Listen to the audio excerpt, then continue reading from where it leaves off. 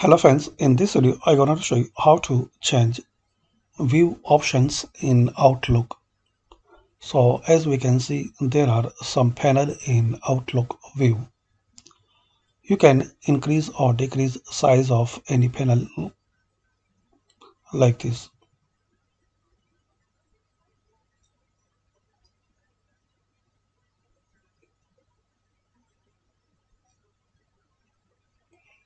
And also you can change view by clicking on this view option.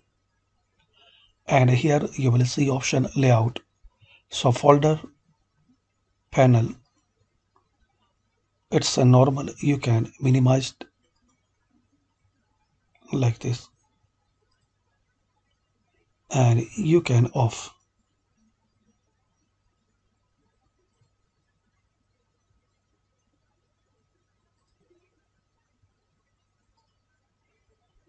also you can change reading pane in right bottom.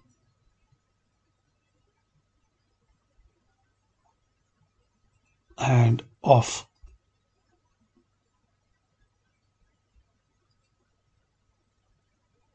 There are some more options for reading pane. You can select as you like to do bar this one. So we can set calendar.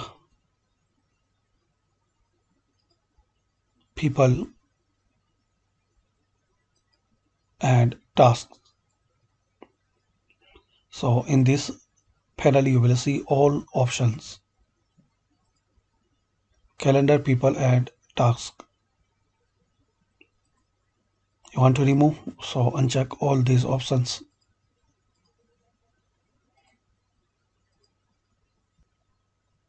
And also guys you can change mail list like uh, by date.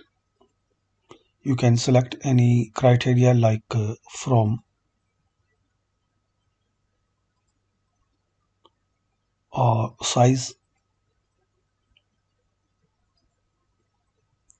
By subject here you can select folder like current folder subfolders current mailbox and all mailbox. So this is the, the quick option how to change view in outlook mail. Thanks for watching this video please comment this video useful for you or not